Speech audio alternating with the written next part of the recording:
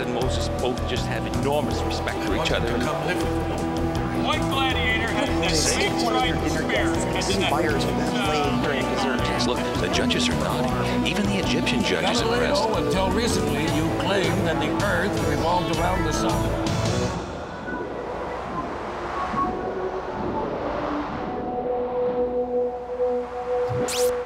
Welcome to History Bites. I'm Rick Green. Nowadays, Canada is a tourist destination for Europeans and Asians. But centuries ago, Canada was a roadblock for Europeans destined for Asia. By the 1600s, explorers had realized North America wasn't Asia, and the Indians weren't really from India. So they kept trying to detour around the Americas to reach the real riches in the Orient. And there had to be a way around because, well, because fortunes were at stake. The sailors who went searching for a passage were either very brave or stubborn, deceitful, and named Henry Hudson. Let's imagine TV had been around in the year 1611 as Henry Hudson plays Who Wants to Be a Millionaire and uses up all his lifelines. The British News Network Nightly News for June 3rd, 1611. Tonight, Hudson's ship returns without Hudson. Mystery or mutiny. American atrocities. Spanish conquistadors call it sport. Natives call it death by dogs. Plus, the new Bible is published. Seven years in the making, it appears King James has a bestseller on his hands. In entertainment, the songwriter who killed his wife and her lover has a hot hit on his hands. And Susan Derry will have the weather forecast. Good evening. I'm Lucinda Johns in London. He went searching for a passage to India. He found only mutiny and treachery. His ship Discovery, which should have been in China, is back home in England. It has no spices from traders, just a spicy story from traitors. Gloria Hallelujah has the story of a shocking discovery. What a difference a year makes. A year, 10,000 miles, several deaths by starvation, a horrible winter, and endless fear. This week saw the return of Captain Henry Hudson's discovery, and it carried a shocking discovery. No Hudson, not even his son, James Hudson. Were you attacked by mermaids? We hear reports of mermaid attacks. Sea monsters ate Captain Hudson. Did they fall off the end of the world, or were they killed by the Chinese? No, no. He, he was a captain. He was incompetent. Mr. Hudson. He endangered our lives. He endangered. us. He's incompetent. A British captain? From a good family. British with an... Are you sure? Okay, kids, I got the uh, top 10 list here, uh, which, uh, by the way, did I mention that uh, later on in the show we have the widow of one of the uh, expedition members with us? I think it's the widow of uh, John Thomas. Uh, did, did, did, I mention that? Are, are you sure? Okay, well, oh, okay, whatever. It appears that the eight survivors of the crew will be charged with mutiny. We join a press conference already in progress. Innocent? How could they possibly be innocent? They freely admit that they set Captain Hudson adrift.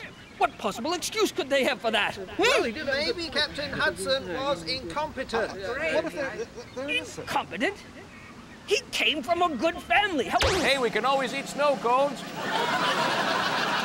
Uh, number seven, the seven habits of highly seasick people. number six, the Green Mile, followed by 8,000 white miles. I'd pay to read that one, Paul. What's to happen if, if, if we let the lower classes question us? What's next? Anarchy? No, no. These sailors must be given a fair trial, found guilty, and then brutally punished. I mean, if they hadn't mutinied, why, right now at this moment, we'd be enjoying the spices and silks from China. Everyone enjoys spices. I love silks. Number four, my heart will go on. The rest of me will freeze solid. and number three, playing favorites, management tips to live and die by. And number two, eight men out, and I wasn't one of them. and the number one title of Henry Hudson's autobiography, The Idiot's Guide to Exploring. When Henry Hudson's ship, the Discovery, limped back to England without Hudson, the authorities had a lot of questions. And the eight sailors who had survived the year long ordeal had some pretty shocking answers. Sure, they were starving for food, but the media was hungry for scandal. Good evening. In an extra exclusive, we talked to Matthew Bennett about the captain who liked to watch. Hudson's Bay or Hudson's Gay? He said he wanted to see our chests, to see what we had. We said the contents of our trunks were private. 24 men, no women, and all hands on deck. He was looking for a new passage, somewhere no man had been before. His job was commanding a ship, but his obsession was controlling seamen. Captain Hudson favored a John Thomas. He would do anything for a John Thomas. What was the real reason these old salts refused to obey orders? He was the captain's first mate. And then the captain decided he wanted a different mate. He, he wanted to see his chest, his sea, sea chest for food. He was afraid they were holding the food. What did you think? Will we ever know the truth? Will the sodomizing sailors get their story straight? It wasn't like that. And my name is Bennett Matthew, not Matthew Bennett. They mutiny and then sail back here. These guys had four months at sea to think up a convincing story. How hard could that be, huh? Uh, oh, Captain Hudson and the others? They met the little mermaid and her sisters and got hitched. They decided to settle down to a life of hydroponic farming. They're over there filming a prequel to Titanic. I have no idea what that means. In an exclusive interview, I talk with a God-fearing sailor who survived a hazardous voyage only to face accusations of mutiny, treason, and murder. Adrian, you and your cohorts are accused of the most heinous of sea crimes. Uh, no, never. We were just good friends who, who sometimes tried on each other's clothing. I meant mutiny. Oh, yeah, we did that. Mutiny against your own captain. Why? Well, the captain, he, he forced us. Twelve months at sea. No food, no shirts, no service. And all Captain Hudson could talk about is pressing on. With what? I understand you had to eat rotten cheese. At first, yeah, that, that was bad. Not as bad as the frogs and, and the moss. Don't get me wrong. Normally, I, I like the taste of moss, but this stuff tasted like damp, rotting wood. You ate moss? Uh, yeah, until we ran out. Then we ate damp, rotting wood. What do these morons say when they step ashore? We mutinied. Yeah, the whole hanging offense thing. Yeah, we uh, abandoned our mates to a horrible death. So, uh, what's new here in Portsmouth? now, I don't want to get off on a rant here, but the fact that eight guys couldn't come up with a halfway decent lie gives you an idea of the kind of tavern scrapings we have manning our ships. Eight mutineers, one ship, and a cumulative IQ that wouldn't give a barnacle a run for its money. Your husband, Philip Staff. My husband? Husband? What about him? He was the ship's carpenter on board Henry Hudson's vessel, the Discovery. Was he? I wouldn't know nothing about it. He said he was going out for a drink and he ain't come back yet. He's made a discovery? No, he has entered the kingdom of heaven. Ooh, that is a discovery. I mean, he's dead. Dead? Bloody hell! Just like him. Leaving me and the kids. And me and the family way. So, you're pregnant. Oh, what does this look like? Gas? But your husband has been gone for over a year. Yeah, well, I was uh, old enough till he got back. You know, uh, crossing me legs and all. Look, what's your point? Uh, If you could use one word to describe Captain Hudson, what word would that be? Dead. But if he were alive today, what would you say to him? I'd say, Captain Hudson, I thought you were dead. and yet, when the crew mutinied, your husband chose to stay with Captain Hudson. He chose certain death rather than come home to you. Oh no! I don't understand it. Well, uh, Mrs. Staff, I'll leave you to your grieving. Right, and thanks. Shut up, you bloody kids! Shut your pie holes! As always, it's the children who suffer the most. When we come back, some shocking discoveries about the crew of the Discovery.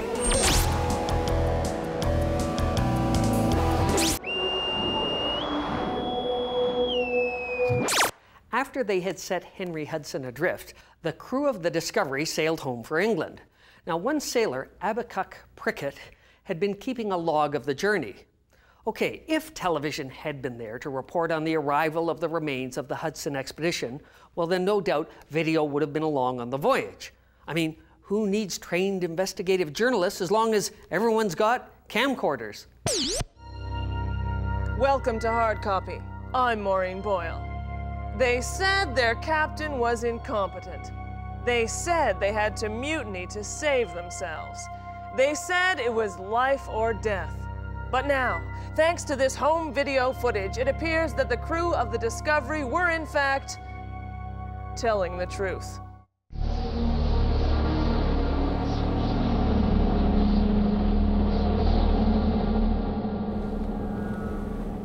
Hi, I'm Henry Hudson, and this is a project to find a way to the Orient. It's my project.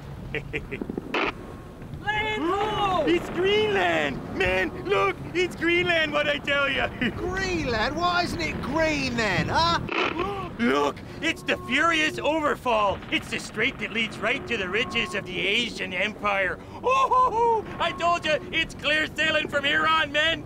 Clear sailing? What do you call that? Oh, that's fog. Don't worry, it'll clear up after the fog. You've lost the map, admit it.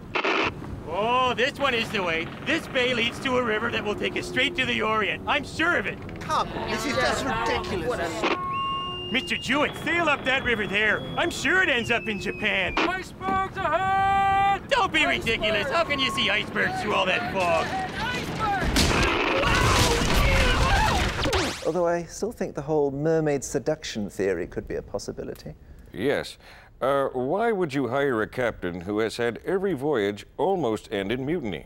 Well, Ted, a, a voyage like this in a small ship, thousands of miles, crude instruments, it's very easy for a crew to lose heart and to harbor thoughts of mutiny. And so we wanted a captain who had experience with mutiny. And that was Henry Hudson Twitty. Ooh, see that mound of dirt? I think that could may well be Mount Fuji. Oh, Mr. Prickett, man the cannons in case we have to repel samurai swordsmen. Prince Henry, did you know that on every one of his earlier voyages, Captain Hudson turned his ship off course, lied to his crew, and tried to find a different route? Yes, yes, we did. We admired his consistency. Some might call him underhanded and deceitful, but we felt he showed initiative. You have to understand, each time Captain Hudson went looking for a northeast passage, he failed and went chasing off after a northwest passage. So this time, when he said he was going to look for a northwest passage, we all assumed he would sneak off looking for a northeast passage, because that still seems the best bet, especially since we thought he'd fail by going northwest. But you must admit, we were right about that part. He did fail. You can accuse Henry Hudson of being a failure as a ship's captain, but no one could accuse him of being a coward. He sailed off again and again into the unknown. The maps he had were unfinished, and if he got into trouble, he'd be underwater. The saints only know that lad was nothing but trouble, so he was. Always complaining. And then when we travel, always, are we there yet? Are we there yet? So he didn't enjoy traveling. Oh, he used to get cart sick. Puke his guts out, he would. Luckily, we never had much to eat, so it wasn't a lot. this bay here, this must be China. Look at all those Chinese pagodas. All the green ones. All the green Chinese pagodas. They're pine trees. Are you sure? Yes. Aww. King is dead ahead. Just around that next point of land. Or the next one. Me Robbie said Hudson was the worst captain he ever knew. Where are we going today, says me Robbie. Ireland, says Captain Hudson. And then, before he can spit a St. Christopher medal out a porthole, he's trying to sail to America. Always trying his navigational tricks, so he was. We're going to Dublin, says his nibs. Well, it's looking to me like we're heading for the Orient over the pole, says me Robbie. Oh, for sure, and these are Irish waters, says himself. Then tell me, Henry Hudson. If I could interrupt your quaint Irish prattle, Mrs. Jewett, uh, how was it that nobody else noticed the change in direction? It was something to do with the fact that His High and Mightiness wouldn't let anyone near the sex tent. Imagine a filthy sex tent right there on the decks. I think you mean sextant. It's a navigational instrument. There I was, thinking Robbie might meet himself a nice wife there. But no. And then there's his choice of crew, hiring that guy Jewett as first mate again. Probably figured Jewett used up all his mutiny cards the first two times they played really, really slow boat to China, huh? Come on, Henry, how many times you need to divorce your wife before you realize it's not working out? Yeah, if there is a more damning evidence for the lack of leadership in our society today, I'll eat Ben Johnson's cod piece. I understand you're now pushing to have the area that Captain Hudson was cast adrift in named after him. Yes, that's right. We feel it would be a fitting tribute to call it Hudson's Bay. After all, it's a large watery body, and in all probability, right now, uh, so is Henry Hudson. Look at those waves! Those are the exact same waves! We're going in circles! We're going in freaking circles! Ooh, look at the tiny scrubs of trees. I'm sure those are Japanese bonsai trees. Ooh. Steady as she goes, man. This river has to lead to Korea. Oh, your fault! Stop arguing with me. Every time you open your mouth, more of your teeth fall out because of that stupid scurvy thing. Covered the key piece of evidence that will clarify exactly what transpired aboard the doomed ship during those last few months. Uh, I have here the ship's uh, black box data recorder. This could be the key. Uh, sir, this is the key. Right. All of our ships are equipped with these special ship's data recorders. It records location, instrument readings, and crew conversations. Oh, what's that sound? It's weird. It's freaking me out. What is it? It's the sound of the ice floes rubbing against the hull of the ship. We're trapped in the ice! Trapped? Oh, well, luckily I plan to spend the winter here in China. Stay tuned as the mutiny trial moves from the court of public opinion to the court of England.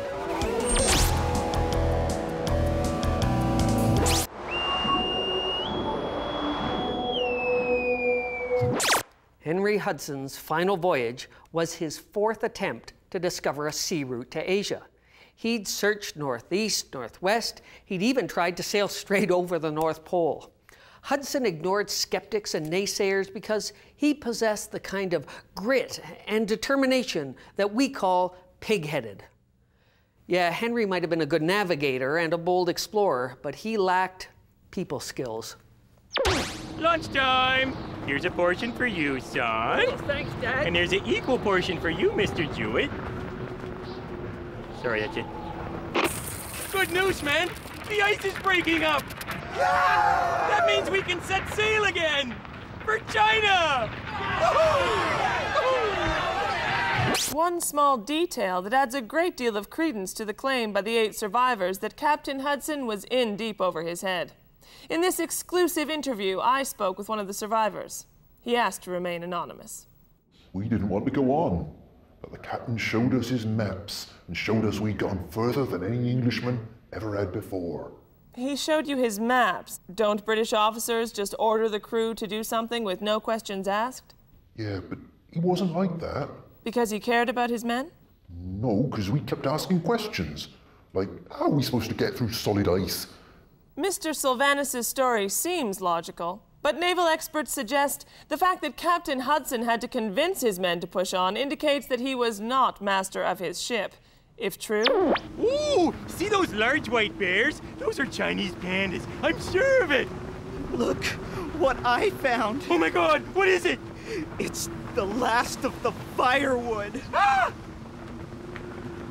And Robbie says, Get away with ya, that coastline was never the Emerald Isle. Tis County Mayo, says Henry. If oh, I may- tis the Russian islands of Novaya Zemlya, says me, Robbie. And there's not an Irish girl to be seen. Then him in the brass buttons, he Uh, says... Mrs. Jewett, if Captain Hudson was such an incompetent commander, why did your son keep signing on with him? He always says, no matter how bad a sailor's life might be, it was better than starving to death. By the way, what happened to him? He starved to death. There we go. That's China, that big pink wiggling hill. Go! You have claimed Captain Hudson was incompetent. No, that was Mr. Jewett. Towards the end, he had some bowel control problems. That's incontinent. Oh, North America. I mean, he didn't know what he was doing. Oh, no, poor Mr. Jewett was so embarrassed, but he tried to keep working. He kept asking us to carry him to the poop deck. Let's get back to Captain Hudson. Why was such a self-centered captain chosen to command this ship? Why? Why? Greed, that's why. Rich nobles and investors who just want a captain in fancy clothes who can speak all that coherent word stuff, and they don't give a damn about the working sailor who gets where he's going for on the planks and earns a hard day's sweat of his elbow grease in one way or another with a wife and children on half sides of the world away with clothes up over their ears in 50-foot waves. What about them, eh? What about them? If China isn't around that next peninsula, I'll eat my hat. Oh, eat your own hat. This one's mine. They took my strawberries. What was the worst straw? What made you decide to mutiny? Mr. Jewett had been talking about it for days. How many days? About a year's worth. These sailors have to be found not guilty. Uh, we need them in our next expedition to the Northwest Passage. As for Henry Hudson, his incompetence has disgraced the entire British class system. Don't blame the sailors one little bit. Oh, salt of the earth, those boys. Fine British lads. Hail, fellow, well met. Robert Bylot, Abacuk Prickett, and all the others were eventually tried and found not guilty. The courts believed their story. All they believed about Hudson was his theory that there was a Northwest Passage to the Orient. So the Discovery was sent back five more times to search for it, with some of the lucky survivors ordered to go along to help guide the way. Hey, you boys know all the spots to avoid. As for Hudson, he had Hudson's Bay named after him, his legacy to history that, like an Arctic frost, bites. Now, normally I wouldn't give a rat's ass if 50 shiploads of these mouth breathers sailed off the edge of the world. But these maritime morons are our nation's emissaries to foreign civilizations. Talk about putting your worst foot forward. Why don't we just tattoo Union Jacks onto the sloping foreheads of the 500 village idiots and send them swimming off into the Atlantic? Now, if you excuse me, I have a meeting with the king. Red? Uh, what if they're, they're innocent? That's, that's it. How, how can you... Sir, it's actually this way.